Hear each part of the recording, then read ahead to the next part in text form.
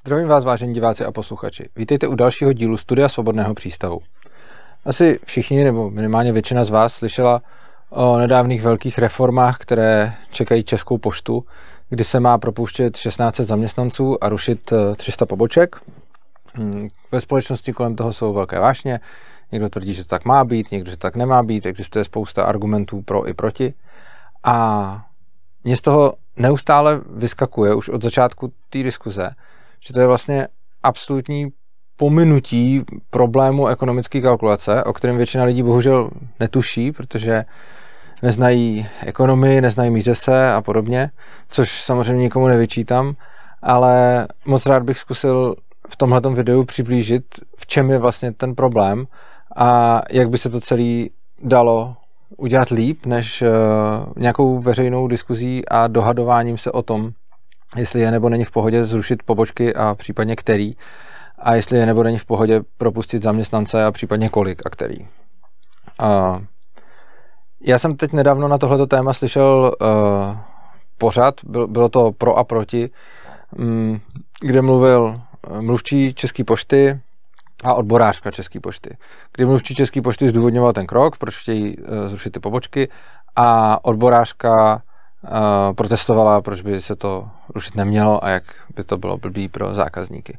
A teď samozřejmě Jedna ta linie od toho mluvčího pošty byla prostě listovních zásilek je mnohem míň, eh, lidi využívají méně služeb pošty, což znamená, že teda je v pohodě nějaký pobočky zrušit a odborářka zase říkala ne, eh, lidi to potřebují, protože pro jejich pohodlí a komfort, aby neměli poštu moc daleko. A mě ta diskuze vlastně hodně vyvolávala takový ten pocit, jakože so wrong on so many levels jako v podstatě všechno to, co tam říkali, mě pořád vedlo k tomu, t- ty lidi jako vůbec neznají to, tu ekonomii zatím a to, že existují způsoby, jak eh, tenhle ten problém vyřešit mnohem elegantněji než teď, akorát, že to by celý ten podnik nesměl být státní, což on, což on bohužel je. Takže já zkusím nějak postupně rozebrat, co v té debatě padalo a co mě tam zaujalo. Hmm. Samozřejmě ten, eh, ten mluvčí té pošty argumentoval tím, eh, jak to mají v zahraničí, což je vždycky oblíbený argument, a vždycky prostě nechápu, argumentovat tím v zahraničí je to tak, tak my bychom to tak měli mít taky, takže že tady máme hodně hustou síť poboček České pošty, mm, v zahraničí, že jich, že jich mají, nemají tak hustou tu síť a že jsou tam taky v pohodě a to odborářka zase kontrolovala, že tady máme spoustu vesnic, že to je nějaké české specifikum a že jako my Češi potřebujeme těch pošt zrovna víc a tak dále. Což jako všechno, jako si řekneš, hm, OK, OK, jako všechno to může být pravda vlastně z obou stran, ale jako kde je napsáno, kolik má být správně jako poboček České pošty. Eh, je to psáno mimochodem v legislativě, to jsem se taky dozvěděl v rámci té debaty, kdy právě ten mluvčí České pošty říkal, že existují nějaký zákony, které regulují, jak ta pošta má poskytovat své služby, že jsou vázaný vlastně dvěma věcma. Jednou z Českého telekomunikačního úřadu, který jim dává nějaký parametry uh, jako dostupnosti těch jejich služeb a druhý je nějaký nařízení vlády, eh, který říká, a to mě pobavilo, v tom nařízení vlády je napsáno, že v České republice má být 3200 poboček pošty. Tak je prostě mají. To je zajímavé, že prostě jako na vládní úrovni nějaký poslanec nebo někdo prostě přišel s tím, že pošt má být právě 3200 poboček a nějak si to udělejte, prostě mějte 3200 pošt, protože to je to správné číslo.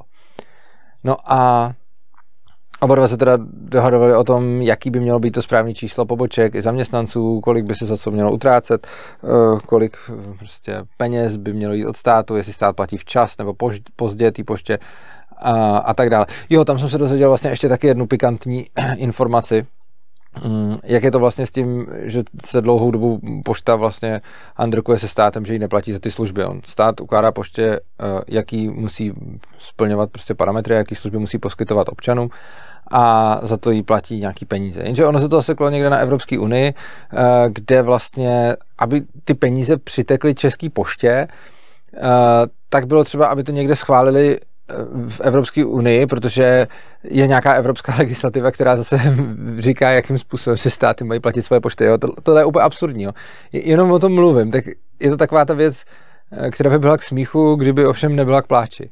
Každopádně Evropská unie nějakým způsobem reguluje jak mají státy dotovat svoje pošty a v rámci této regulace bylo třeba, aby Česká pošta splňovala něco, co dlouhou dobu nesplňovala, takže neměla ty peníze. Jakože stát jí řekl, jaký uh, služby má poskytovat a kolik za to dostane peněz, prej miliardu a půl ročně za nějaký, nějaký balík služeb.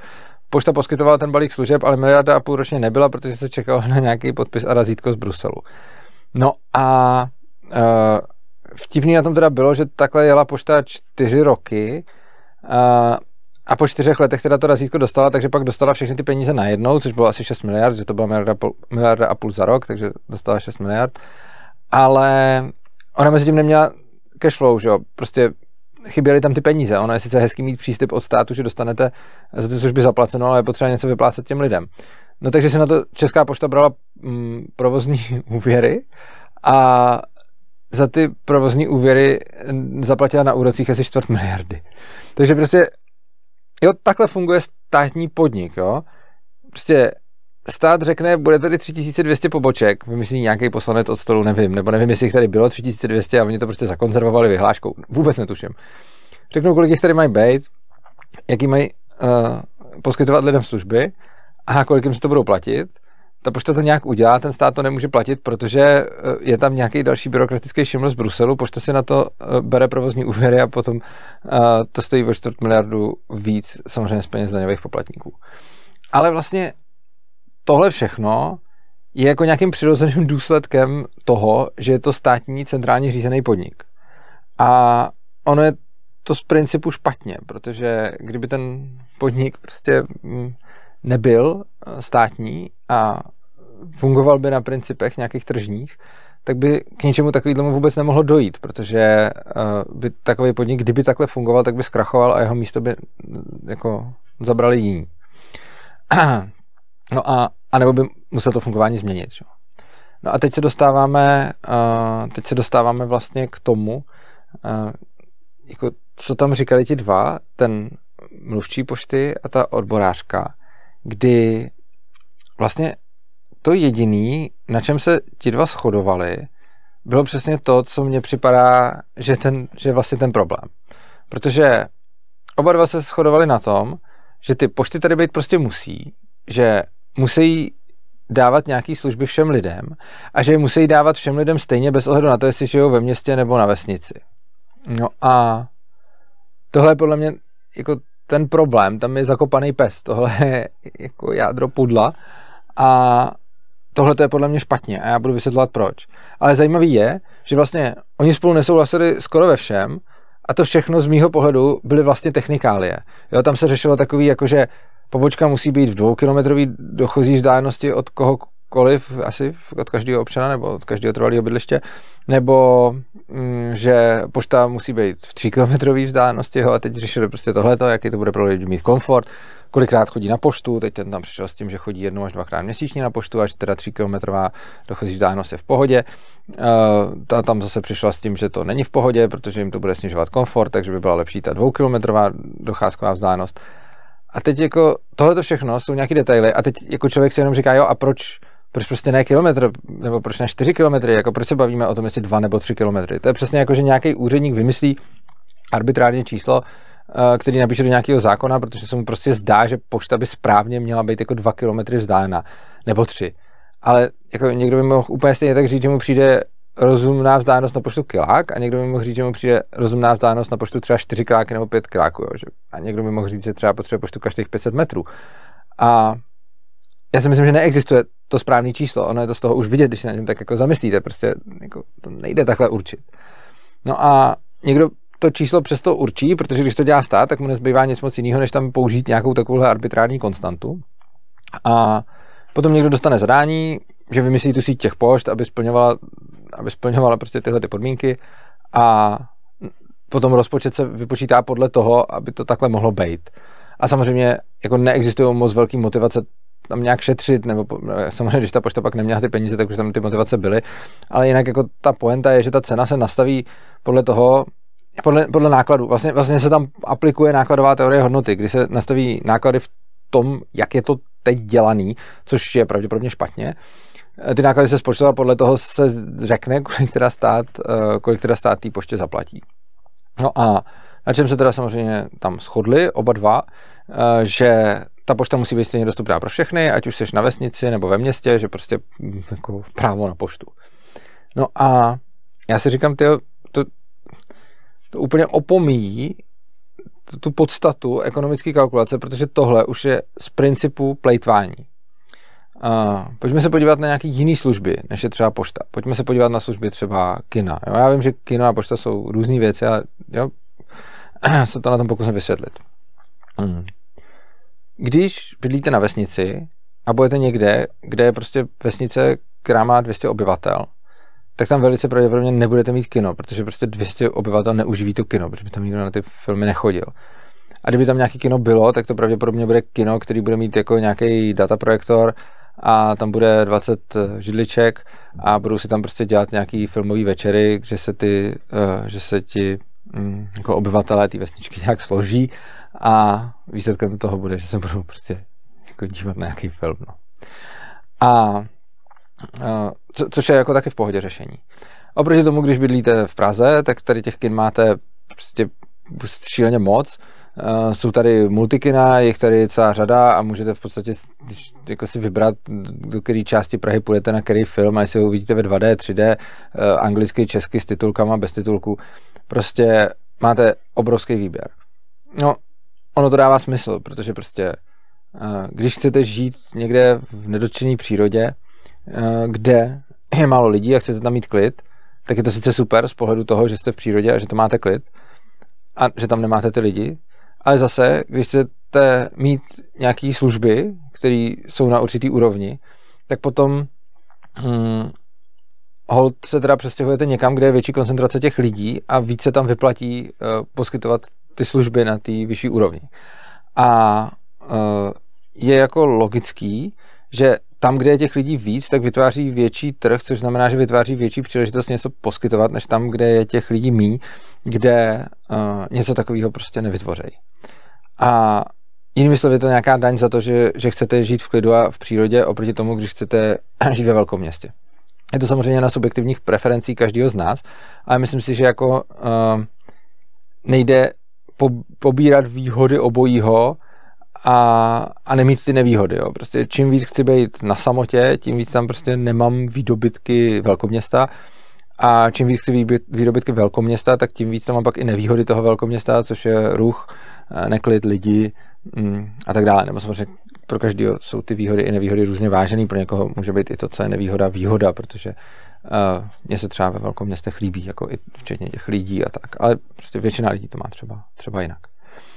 No, a od toho tady máme potom trh, který vlastně zjistí, eh, kde se vyplatí nějakou službu, eh, kde se vyplatí nějakou službu poskytovat a, a jakou a na jaký úrovni. Eh, můžeme to vidět na všech možných těch třeba zásilkovnách a tak, to jsou vlastně konkurenční služby České poště, kde prostě si můžete posílat balíčky nebo dopisy, nebo co, jako, jak je vám libo. A můžete si posílat zásilky a je nějaká síť výdejních míst, kde, uh, kde si je můžete vyzvedávat. No a ono je potom vidět samozřejmě, že ta síť je, ta, ta, ta, ta hustota toho pokrytí pak samozřejmě odpovídá nějaký hustotě toho osídlení. Takže prostě zatímco v Praze máte zásilkovnu na každém rohu, tak prostě na nějakých vesnicích to uh, zdaleka takhle ani není. A často se nemusí třeba vyplatit tam nějaký zásilky vozit, respektive uh, by to mohlo být dražší. A já si myslím, že to, že je dražší odvést tu zásilku někam prostě na vesnici než do města a že je vlastně dražší poskytovat tu pobočku, protože my se na to můžeme dívat dvouma způsobama. Buď se na to můžeme dívat tak, že jako někde se na to ty lidi složej a někde se na to nesložej, a nebo se na to můžeme dívat tak, že aby se na to složili, tak eh, čím víc jich je, tím méně musí platit každý z nich. Jo? Samozřejmě ono to má nějaký náklady, řekněme, jako variabilní s počtem těch zákazníků, ale pak to má taky nějaký základy, náklady fixní, že? Protože eh, jako je pravda, že čím víc frekventovaná je ta pobočka pošty, tak tím víc je tam potřeba zaměstnanců, ale má to nějaký svoje limity, že prostě i když tam bude ten člověk jako jeden, ten zákazník, tak tam stejně potřebuje třeba aspoň jednoho zaměstnance. A když tam budou ty zákazníci dva, tak taky je potřeba potřeba jeden zaměstnanec. A aspoň teda. A stejně tak jako ten barák, jo? že prostě není to tak, že by tam, kde tu poštu využívá prostě, já nevím, desítky tisíc lidí, nebo já nevím vlastně, kolik bude využívat jednu pobočku, tak eh, že by jako ten barák byl odpovídajícím způsobem větší a nájemný, nájemný odpovídajícím způsobem dražší, než když na té vesnici těch lidí prostě bude využívat jako několik desítek. Což znamená, že některé ty náklady jsou variabilní, ale některé ty náklady jsou fixní. Což znamená, že mezi čím víc lidí to rozdělíte, tak tím levnější ta služba je. Jinými slovy, eh, dovážet, a máte to úplně stejně jako s rozvozem jídla, jako s rozvozem úplně všeho. Prostě dovážet jídlo po Praze je docela jako výhodný biznis, protože je tam spousta lidí, kteří si chtějí objednat jídlo, ale rozvážet jídlo ve vesnici, která má prostě 100 lidí, jako možná nějak se dá, ale jako není to úplně takový biznis jako v té Praze. Že? A je to potom logicky všechno dražší a ta, do té ceny se promítá to, kolik lidí tam žije. A ono to fakt jako dává smysl, kdy prostě nějaký ten počet lidí se musí na tu, na tu službu složit. Jo? A teď to teda znamená, že čím řidčeji osídlenou oblast máme, tím dražší je tam poskytování některých služeb na hlavu. Ať už se jedná o dopravu, nebo se jedná o doručování zásilek, nebo prostě o tu poštu, prostě cokoliv takového prostě souvisí s tím, kolik tam, kolik je tam lidí.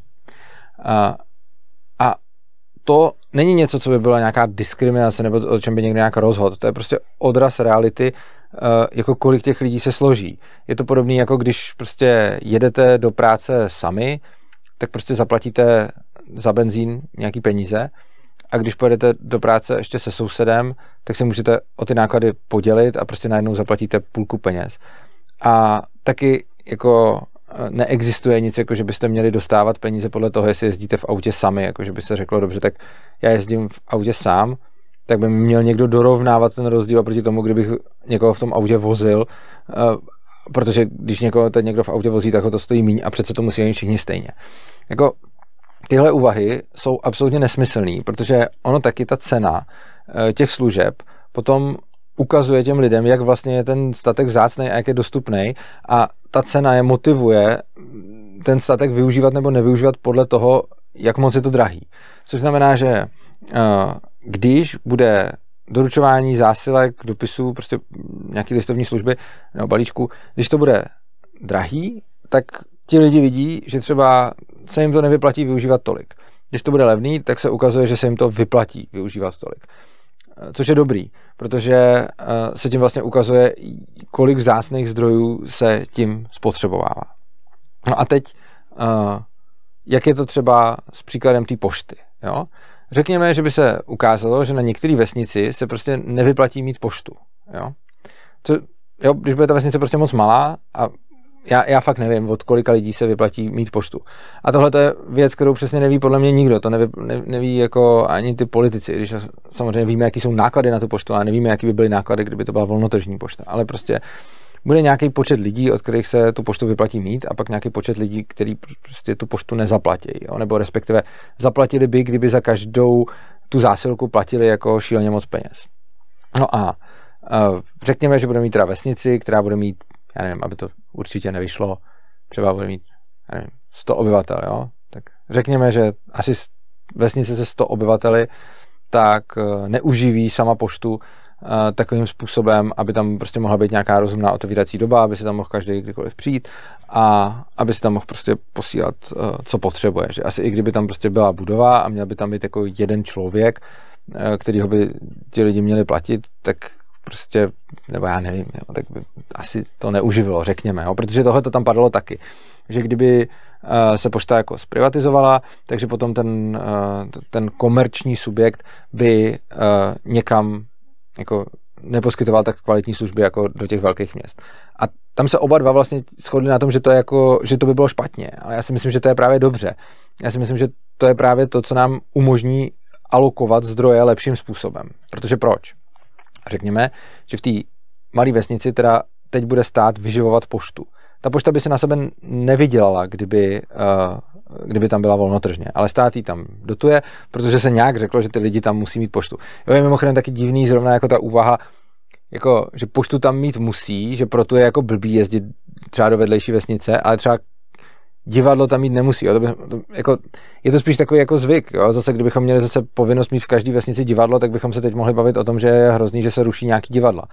Ale vlastně on podle mě není žádný objektivní důvod, proč by zrovna pošta v každé vesnici být musela, ale divadlo by v každé vesnici být nemuselo. Jo. Prostě eh, občas je potřeba si za nějakýma věcma dojet někam jinam. A teď jde o to, že ta pošta spotřebovává nějaký vzácný zdroje. Ta pošta spotřebává čas toho člověka, který tam musí sedět na té přepážce, ta pošta bude spotřebovat nějakou elektřinu, ta pošta bude spotřebovat nějaký papír, ta pošta bude spotřebovat nějaký prostě, jako já nevím, co všechno potřebujeme na poště, potřebuje tu budovu, potřebuje teda nějaký ten nájem a tak dále. Takže prostě pošta spotřebává vzácný zdroje. A teď jde o to, že pokud uh, tyhle ty vzácný zdroje stojí víc peněz, než kolik jsou lidi ochotní tam zaplatit za ty zásilky, tak to potom znamená, že uh, ta pošta vlastně spotřebává zdroje, které jsou pro ty lidi a tu společnost vzácnější než zdroje, uh, který jim poskytuje. Jo? Jakože lidi si víc váží toho času toho člověka na té přepážce, víc si váží uh, té budovy, kterou by mohli využít na něco jiného, víc si váží té elektřiny a tak dále, než kolik si váží těch, těch zásilek. Co v takovém případě by se mělo dít, kdyby se teda zjistilo, že to takhle? No, uh, racionální ekonomické rozhodnutí je buď zvednout tu cenu jako těch zásilek na té poště a pak by se vidělo, jestli to lidi budou pořád využívat nebo nebudou. A když budou, tak je to v pohodě. Protože pošta se dostane do zisku a tím to znamená, že ty lidi si tam tu pobočku pošty uživí a že teda ta pobočka pošty poskytuje vzácnější zdroje, eh, než jaký spotřebovává. Ale kdyby se ty ceny zvedly ono by se zjistilo, že ta pošta se neuživí, protože by lidi se na to třeba vykašlali a jezdili by místo toho posílat tu poštu do, do většího města, tak by se ukázalo, že ta celá ta pobočka je vlastně jako plejtvající projekt. A že ty lidi, že se ušetří zdroje, když ty lidi budou jezdit, třeba posílat ty pobočky do, posílat ty svoje zásilky třeba do vedlejší vesnice nebo do vedlejšího města. Samozřejmě tam nemůžou, nemusí jezdit jenom kvůli tomu, můžou třeba někoho požádat, aby jim to tam poslal, nebo uh, můžou to spojit s nějakým prostě jiným výletem a podobně, nebo s nějakou jinou činností. Samozřejmě to nemůžou udělat všichni, ale jde o to, že nějak agregátně to zjistíme pouze tak, že to necháme na tom volném trhu, že tam necháme tu pobočku a uvidíme, jestli prosperuje nebo neprosperuje. A samozřejmě to, co se potom může stát, že by si logicky třeba ta firma mohla nastavit eh, v, jako v nějakých menších městech jako vyšší cenu, a neměl by to nemusela udělat, jo, to, tohle těžko říct, ale je to jako jedna z možností. Vyšší cenu za ty služby a vidělo by se, jestli se uživí nebo neuživí. A potom pokud uh, je pro ty lidi lepší chodit na tu svoji pobočku a třeba si nějak platit a vydávat za ní peníze, tak potom vidíme, že ta pobočka jim přináší víc jako zdrojů, zdroje, kterých si cení víc než zdrojů, který spotřebovává. Pokud by se tak nestalo, tak vidíme, že je to důkaz opaku, že ta pobočka vlastně spotřebovává zdroje, které jsou pro ty lidi vzácnější a cenější než to, co jim poskytuje. A v takovém případě by se to potom manifestovalo tím, že ty lidi by řekli, hele, já na tu pobočku tady nebudu chodit, protože je třeba drahá, a chodili by posílat ty dopisy třeba do vedlejšího města. A tímhle tím způsobem by se potom jako ukázalo, čeho si ti lidi vlastně cení víc nebo méně. A samozřejmě by to potom vedlo taky k nějakému růstu konkurence, případně vyhledávání substitutů, že když by někde nějaký lidi byli jako nespokojení s kvalitou těch služeb nebo s tím, jak to tam zrovna mají, tak by samozřejmě vznikala díra na trhu, kterou může někdo zaplnit tím, že jim, to, že jim s tím nějak pomůže. A těch jako variant může být šíleně moc. Jo. To může být od toho, že tam bude nějaká firma, ale nebo i od toho, že prostě uh, se nějaký lidi společně dohodnou, že, mm, že, že třeba se tam bude, já nevím, že, že někdo z té vesnice prostě pojede a vezme těm ostatním tu poštu, kterou si tam chtějí poslat. Jo. Takže prostě toho může být, uh, toho může být fakt celá spousta. A mně vlastně přišlo hodně zajímavý, že na té poště, eh, že v té debatě jsem se dozvěděl, kdy se to velice správně podle mě, i když s milným závěrem, potom přirovnávalo k dopravní obslužnosti. Jo? Že se říkal, ale tak eh, kdyby to bylo nechané na soukromém dopravci, tak ne na každou malou vesnici bude prostě jezdit autobus. Je možný, že kdybychom nechali na soukromém dopravci, jestli chce nebo nechce mm, poskytovat tu službu, tak by prostě na některé malé vesnice nebyl vypravený autobus. A já říkám, jo, to je možný, a potom by to ukazovalo, že prostě vypravit ten autobus tam je jako, že to stojí víc zdrojů, než kolik zdrojů to přináší. Asi pamatuju, když jsem byl malý, tak já pocházím z Plzně a žil jsem vlastně v malé vesnici vedle Plzně. A měl jsem jeden den v týdnu vždycky na večer kroužek programování v Plzni, ale protože to bylo až večer, tak jsem si často jako po škole dojel domů a pak jsem z domova zase jel zpátky do Plzně na ten, na ten kroužek. Tam zrovna jel nějaký jeden autobus, nějaký jeden spoj, který měl tu vlastnost, že vždycky, když jsem tím autobusem jel, tak jsem tam byl úplně sám na celý autobus. Byl jsem tam řidič a byl jsem tam já. A jel celý velký autobus s tou spotřebou prostě nevím kolik litrů nafty na 100 km, ale šíleně moc. Kdyby mi v tu chvíli jako ta obec platila taxík, který mě tam doveze, tak na tom ušetří. Jo. A, ale já jsem za to zaplatil prostě cenu toho autobusu. A to je přesná ukázka toho, uh, jak stát plejtvá těma zdrojema. Žádný soukromík by tuhle tu linku nevysílal. Prostě ta linka tam jezdila pravděpodobně úplně prázdná, když jsem tam nejel já a byl jsem tam jako jediný cestující, když jsem tam jel. Jako je teoreticky možné, že ten autobus byl potřeba na té druhé straně a kdyby to tak bylo, tak by ten soukromník ho třeba mohl vypravit, že ho tam potřeba vrátit. A já se spíš obávám, že prostě někdo takhle navrhnul jízdní řády a pak už to neřešil a to, že tam řeč, jezdí řidič sám, no, tak tam jezdí sám. No. A jako to, co by bylo samozřejmě řešením, který by spotřebovalo méně zdrojů než tohle, by bylo, uh, že by se ta doprava zajistila nějak jinak. A když se ty lidi budou potřebovat doprava, tak vznikne poptávka a ta doprava bude zajištěna nějak jinak. V extrémním případě by tady bylo fakt hospodárnější, kdybych jezdil tím taxíkem, jo? protože prostě když pro mě přijede úplně celý autobus, který tam má, já nevím kolik, 80 míst a já jsem jediný cestující toho autobusu, tak prostě reálně je tohleto plejtvání zdroji. Jo? Jako, ať už řešíme mm, zdroje z hlediska jako ekologie, přírodní zdroje, tak ať řešíme prostě jako opotřebování toho autobusu, prostě ta, tu naftu a všechno, tak je to prostě obrovský plejtvání zdrojů, protože úplně zbytečně tam jezdí autobus, který často může být i prázdný. A oproti tomu, kdybych jel prostě třeba i taxíkem a i kdyby ten taxík prostě platilo to město, tak nakonec na tom vydělá i to město a jako ve výsledku to bude lepší krok. Samozřejmě moje, jako tím neříkám, když se to nevyplatí soukromým dopravcům, tak se to vyplatí si tam volat taxíka. Ono existuje celá spousta jako jiných řešení. Například lidi, kteří budou žít v odlehlejších místě, místech jako světa nebo republiky nebo tak, tak asi častěji budou mít auta, což patří ke zvýšeným nákladům na to, že bydlím někde na samotě že bych bydlel ve městě. Nebo uh, když by prostě pro ně bylo komplikovaný jezdit autem, tak by se dost možná někomu vyplatilo tam vypravit třeba mikrobus nebo něco takového, jo? jakože když těch lidí z té vesnice bude jezdit málo, to je další věc, že prostě jako stát momentálně dělá ty autobusové linky, kde všude jezdí prostě ty, uh, ty velký autobusy, ale ono je klidně možný, že prostě když je někde nějaký spoj, kde jako se poveze 10, 5, 10 lidí nebo tak, tak prostě v pohodě odvést nějakým mikrobusem, který bude zase šetřit zdroj. Jenomže k tomuhle tomu se nikdy nedojde, dokud to bude centrálně plánovaný a dokud jako ta služba nebude poskytovaná volným trhem. Protože dokud je ta služba poskytovaná státem, tak prostě daňový poplatník nějak zaplatí naftu a opotřebení toho obrovského autobusu. Řidič tam přijde, dostane se to zaplaceno, pojede, on nemusí řešit, že tam vozí jenom mě, protože jeho to nějak nepostihuje, jeho nadřízení ho taky ne. A prostě oni řeknou státu, hele, ta doprava stojí X a stát jim prostě dá X to, že do doprava stojí, je zahrnuto to, že prostě Urza tam má svůj soukromý autobus, kterým jezdí jako každý týden někam. A to všechno je zahrnutý do jako ceny dopravy, kterou potom uh, zaplatí, kterou potom zaplatí daňový poplatník. No a jako v momentě, kdy to takhle bude řídit stát, tak neexistuje žádná motivace k tomu, uh, aby se zjistilo, kde je to vlastně prodělečný. A i tam, kde by existovala motivace, tak potom neexistuje jako způsob, jak zjistit, co je nejlepší. Jako dobrý, asi vidíme, že jako celý obrovský autobus pro jednoho člověka není úplně optimální.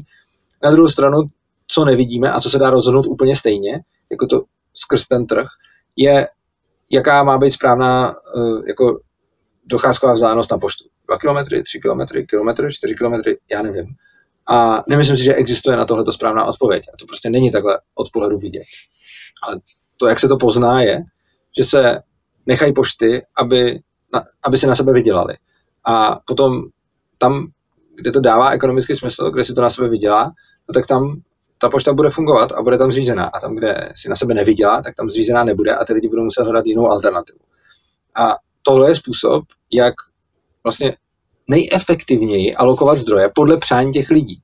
Protože jako, jde o to, že všechno má nějaký své náklady obětované příležitosti.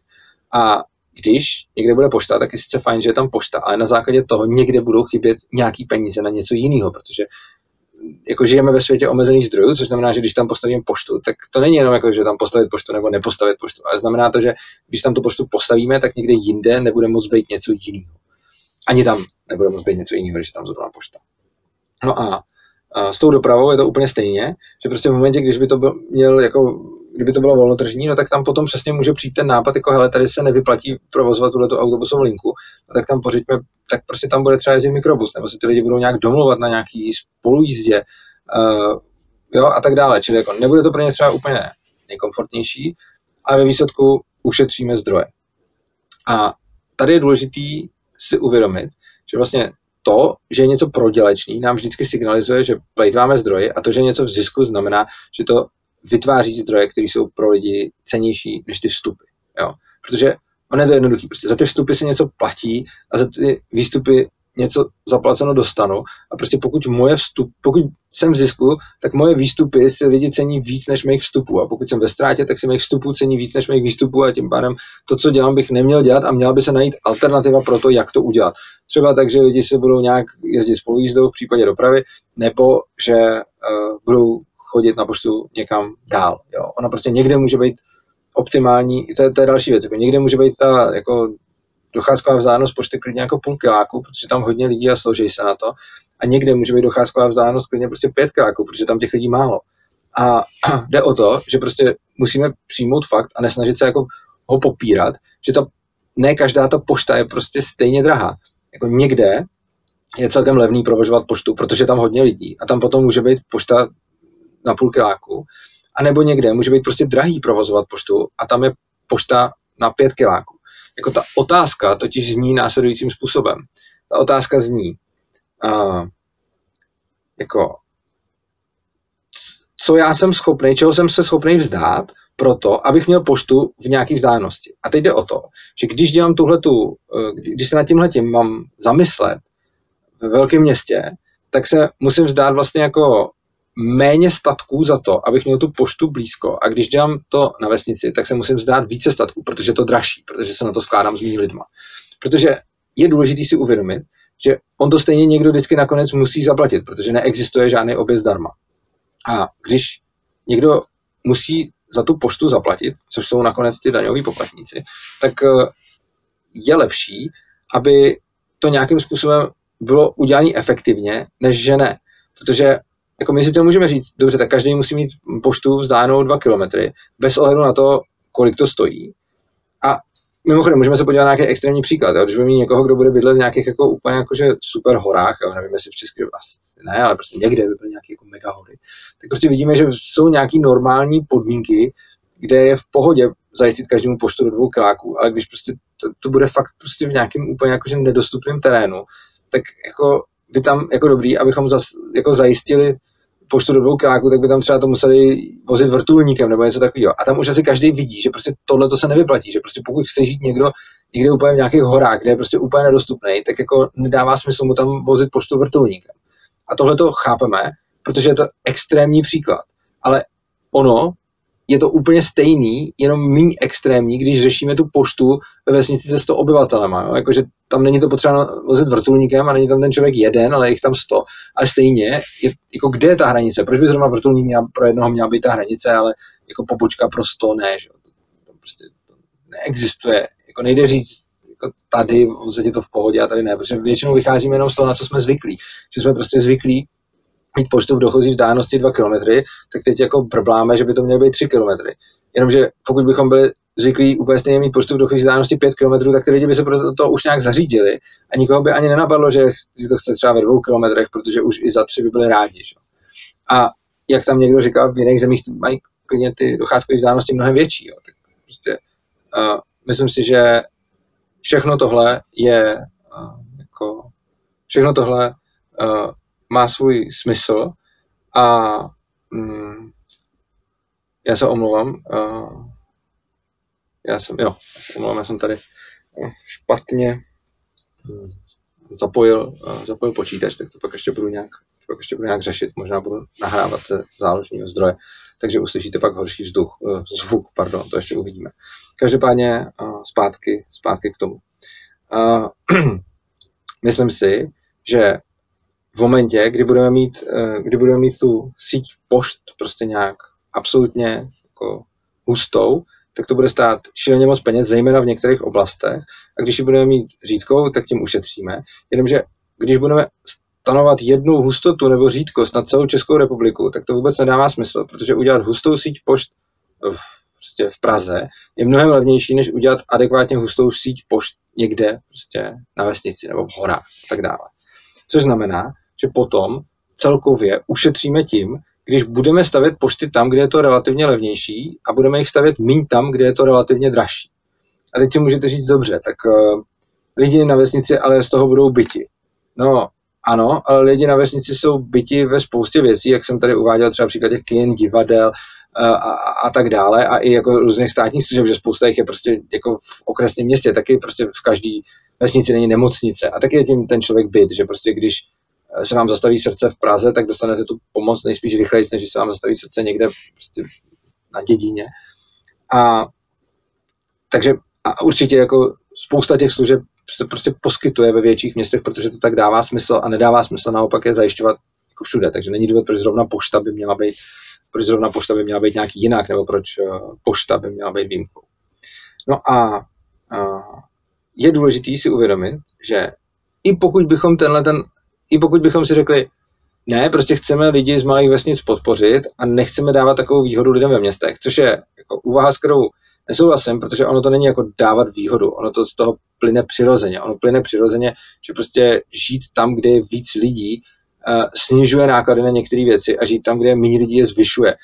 A my se můžeme bavit o tom, jestli to je nebo není OK, ale i kdybychom došli k tomu, že to není OK, jako já si myslím, že je, protože prostě uh, je na každém, aby si zvolil, kde chce žít a pokud žije někde, kde na to nemá, kde je to prostě moc drahý, tak by se měl přestěhovat někam, kde na to má, protože než aby ho dotovali ostatní, protože ty zdroje můžou být využitý jinak. Ale i kdybychom se teda shodli na tom, že nechceme, aby tady byla ta jako v úzovkách nespravedlnost, která podle mě není nespravedlnost, ale budu chvilku předpokládat, že je, že by teda pro lidi z malých vesniček a obcí byly pošty jako z principu nějak hůř dostupný než, eh, než ve velkých městech, tak i v takovém případě by pořád dávalo ekonomicky větší smysl poslat těm lidem z těch malých měst přímou dotaci, aby si potom rozhodli, co s těma penězma chtějí dělat, než vymýšlet, které služby pro ně mají být ty klíčové. Protože ono je možný, že prostě pro někoho na malé vesnici bude klíčovější ta pošta,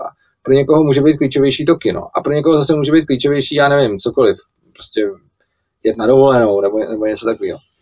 A i když už bychom se shodli na tom, že lidi na vesnicích jsou chudáci a že je potřeba, aby lidi z měst dotovali lidi na vesnicích, tak i v takovém případě je pořád efektivnější udělat to, že dáme těm lidem na těch vesnicích nějakou dotaci, za kterou oni si sami nakoupí ty služby, které si nakoupit potřebují, třeba dražší poštu.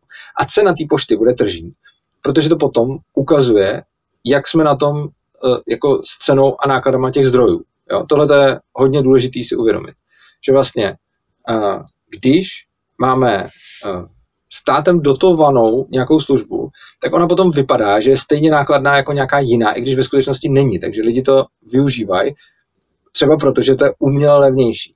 To, co zase vede k většímu, větší úspoře a efektivnější alokaci zdrojů, je, když uděláme to, že necháme ty pošty i autobusy i prostě dopravu a všechno volnotržní.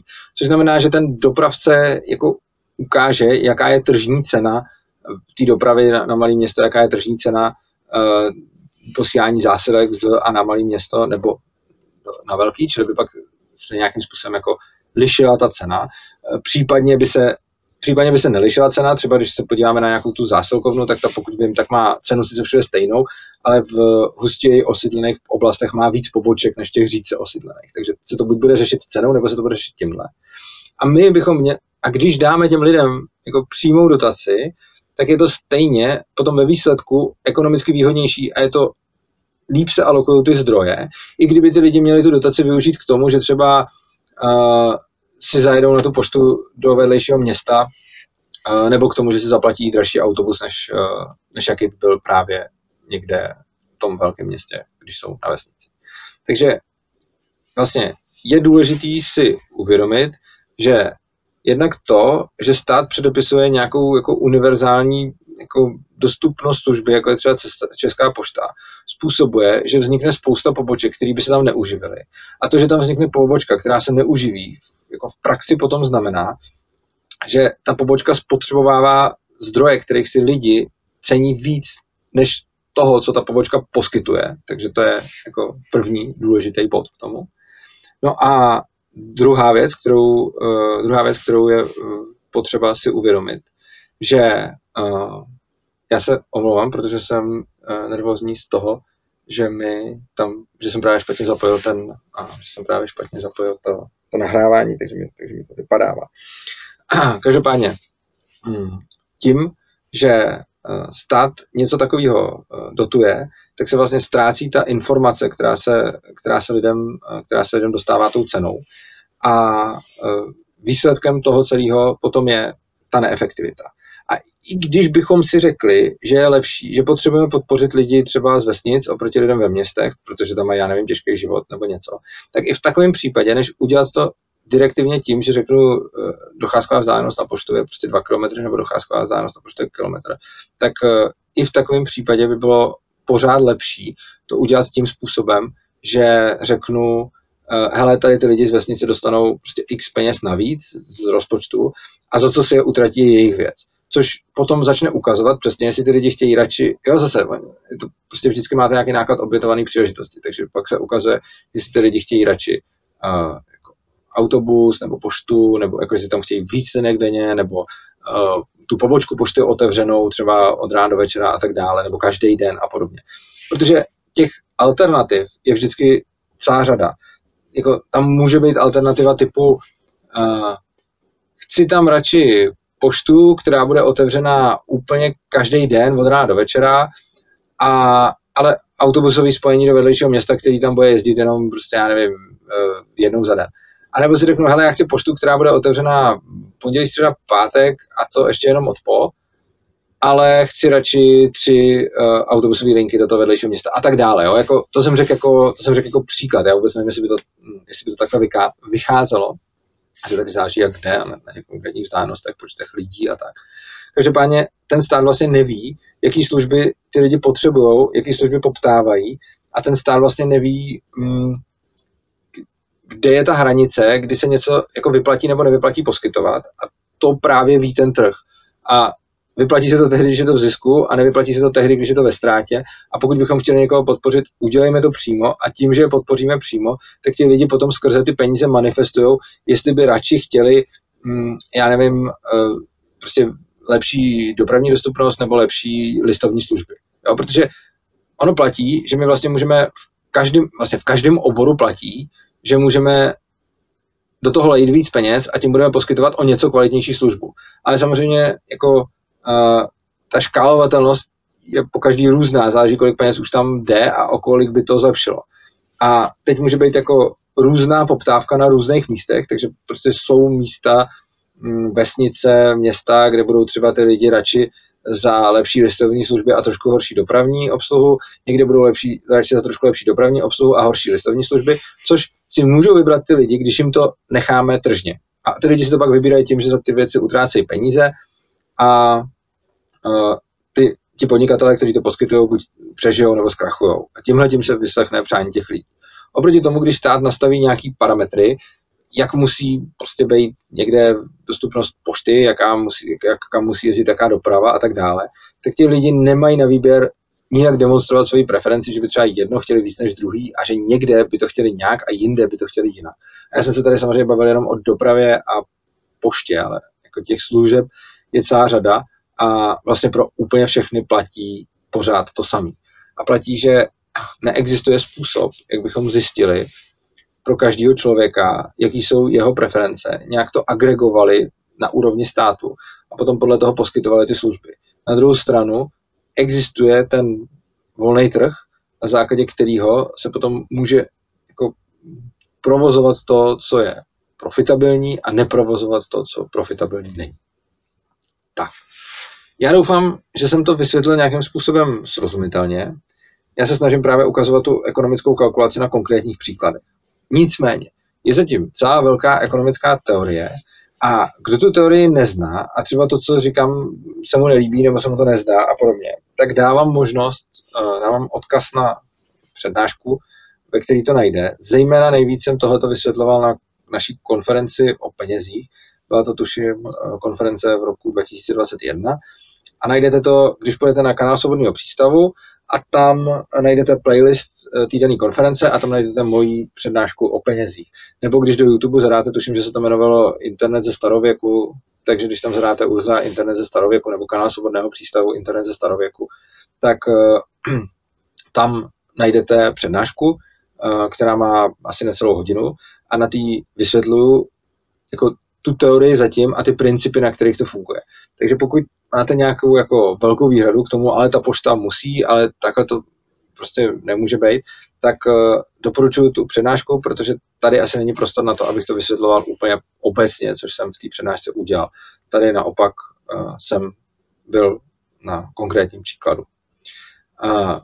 Já vám tedy, uh, vážení diváci a posluchači, děkuji za pozornost. Zároveň se omlouvám za zhoršenou kvalitu zvuku, protože vidím, že jsem uh, si to tady uh, špatně zapojil, což znamená, že budu muset použít záložní nahrávku a nevím, jak to celý bude ve výsledku vypadat. Každopádně doufám, že ta informace, kterou jsem vám předal, bude pro vás dostatečně hodnotná a že ji k něčemu upotřebíte. Myslím si, že to je něco, co můžete, co můžete šířit i dál, protože je to něco, co bych rád, aby se dostalo k co nejvíce lidem, jelikož je mi fakt líto, že když se řeší prostě přesně jako počet poboček České pošty, tak všichni jako se snaží vymyslet to správné číslo, i když vlastně mm, ekonomové nám už před stolety ukázali, že to nejde, že, že prostě neexistuje ta správná odpověď, že jediný, jak lze najít, je právě to, že necháme těm lidem svobodu, aby sami nějak demonstrovali volnotržně své preference.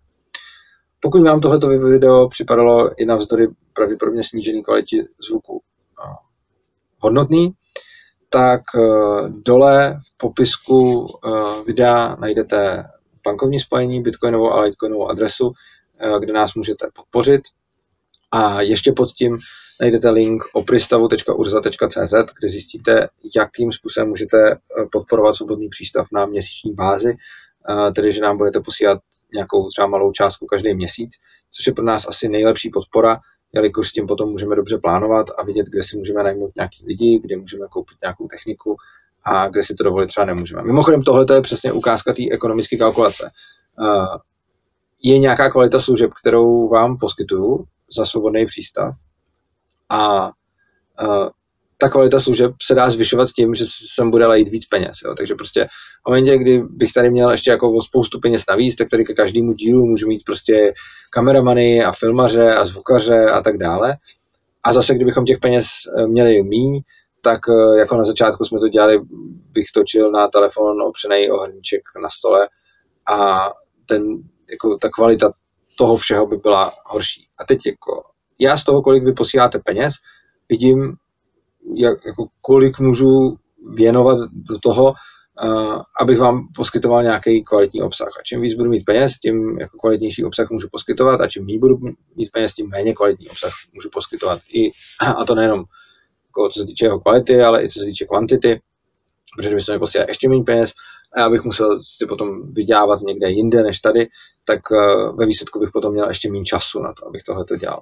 A prostě Lze to udělat tak, jak jsme to dělali na začátku, takže mít prostě telefon na hrníčku eh, a nahrávat se nějak. A nebo to lze udělat, jako to děláme teď, což vidíte, zrovna teda tohle video není tou klasickou ukázkou, ale tak myslím ty ostatní. A nebo to jde určitě dělat všechno ještě mnohem víc profi, mít, já nevím, lepší zvuk, lepší obraz, můžeme tady mít, já nevím, co všechno. A tohle to všechno záží na tom, jak moc vy se rozhodnete něco takového podporovat a to, že já vám dodávám, řekněme, něco, čeho si ceníte víc než těch peněz, který zaplatíte, je, je vlastně vyplývá z toho, že ty peníze jste ochotný poslat A v momentě, kdy je pošlete, tak já vidím, jaký mám nějaký budget na to, co, uh, co vám můžu poskytovat. A potom můžu různě hýbat s tou kvalitou, můžu s tím dělat nejrůznější věci. Ale to, co se mi nestane, pokud nebudu brát státní peníze, což my nechceme, a nechceme brát žádný dotace, ani evropské peníze, ani státní peníze, tak se mi nestane, že bych tady nějak plejtoval zdrojema, protože v momentě, kdyby náklady svobodného přístavu začaly být větší než příjmy svobodného přístavu, tak začnu prodělávat a musím to někde dotovat, třeba sám za sebe nebo, nebo, nebo nějak prostě. No a, v momentě, kdy se tohle to děje, tak mi tím vlastně trh ukazuje, že plejtvám zdroji a že musím nějak změnit svoje chování. Dokud uh, zdroje, který spotřebovávám, uh, si ceníte méně než toho výstupu, který dostáváte, tak uh, já vidím, že to, co dělám, dělám dobře a dostávám takhle tu zpětnou vazbu. Něco takového bohužel ten stát nedostává, Česká pošta to nedostává a podle toho ty služby bohužel vypadají. Takže to jsem ještě udělal vlastně takovou, takovou suvku nebo takový jako závěr. Každopádně pokud nám peníze posílat nechcete nebo nemáte, tak nás můžete podporovat i jinak. Rozhodně každý sdílení našeho obsahu je pro nás velká podpora. Eh, pokud budete odebírat náš kanál, tak eh, nás to bude motivovat. Krom toho eh, jsou hosti, kterým záleží na tom, kolik máme odběratelů a podle toho se rozhodnou, jestli přijít nebo nepřijít, takže tím odběrem nám můžete zajistit větší dosah ve spoustě ohledů. Já vám tedy děkuji za pozornost. Ještě jednou se omlouvám za kvalitu záznamu, která už teď vidím, že asi nebude valná, protože budu muset říct ten záložní záznam. Mějte se krásně, mějte se rádi a užijte si života.